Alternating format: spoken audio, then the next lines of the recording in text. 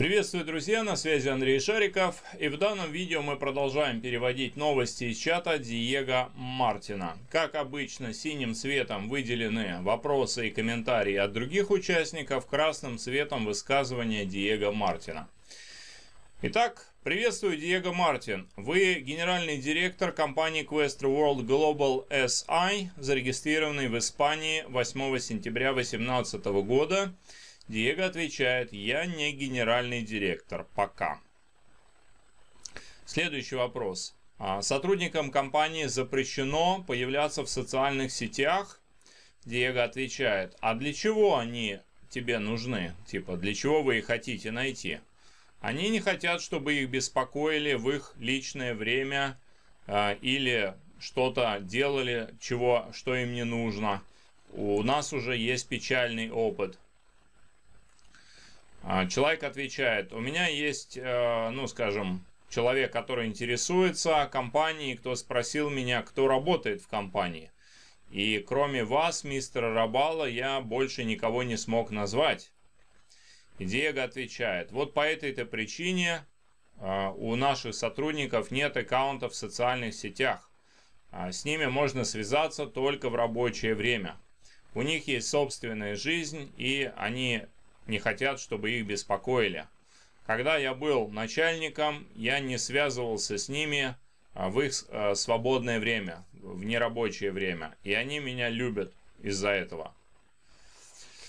Так, этот комментарий относится уже в целом к работе чата. Э, все админы нашей группы делают отличную работу.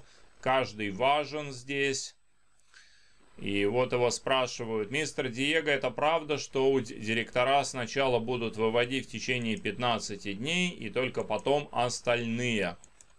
Но это то, о чем Диего говорил раньше. Диего отвечает, у нас пока нет никаких дат.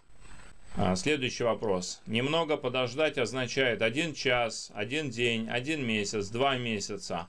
Можете ли вы прояснить Гульнара? Гульнара это один из админов чата. А Диего отвечает, у нас нет еще времени конкретного. Следующий. Мистер Диего, скажите, пожалуйста, что нужно сделать, чтобы быть одним из ваших админов? А Диего отвечает, у нас достаточно админов, спасибо. Пожалуйста, не посылайте мне сообщений в личку, особенно если вы хотите меня оскорбить. Я здесь для того, чтобы помочь, и я не занимаюсь деньгами людей. А, те деньги, которые приходят в Квестру, они приходят а, за ту работу, которую мы делаем для Агам. Люди пишут неприятные вещи, потому что многие расстроены. Диего отвечает, ну это нормально. А, иногда я тоже теряю терпение, и я понимаю, через что вам приходится пройти. Я для того, чтобы помочь. Я не спрашиваю ни с кого денег. И э, я уже сказал, что если компания не помогает, я буду со всеми вами. Если вы не верите, то зачем вы в этом чате? Я хочу общаться только с позитивными людьми. А, ему отвечают, я верю, но я понимаю позицию людей тоже. И я слушаю не только одну сторону. Диего отвечает, я тоже. Я думаю, что ты смотришь на ситуацию так же, как и я. Потому что я понимаю, что молчание компании для нас это не есть хорошо, но я не могу ничего с этим поделать. Здравствуйте, мистер Диего. Скажите нам, пожалуйста, хотя бы приблизительную дату. Сколько еще ждать? Лучше ужасный конец, чем ужас без конца.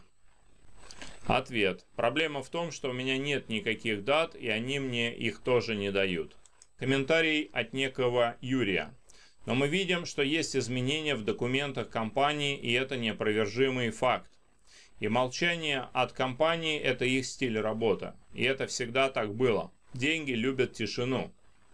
И наша главная задача – ждать и не мешать компании выполнять ее работу, которую она делает для нашего же благополучия. И Диего здесь соглашается. Точно, спасибо, Юрий. Диего, я вам верю и готов оказать всю необходимую поддержку, но я считаю, что вам необходимо записать видео и рассказать о том, что на, на данный момент происходит. И, пожалуйста, помните, что многие люди в этой группе – это те самые люди, которые написали в компанию Квестра и, скажем, замолвили за вас словечко, когда шел разговор о назначении Диего в качестве SEO. И мы ваша семья, и мы любим вас, поэтому поговорите с нами.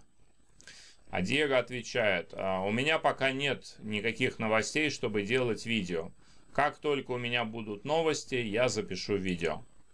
Вот и отлично. Это будет очень хорошо для всех нас. Когда вы просили нас о помощи, о поддержке, мы мгновенно отреагировали и поддержали вас.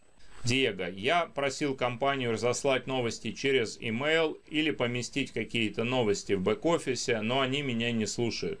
Я понимаю, и мы благодарны вам за это.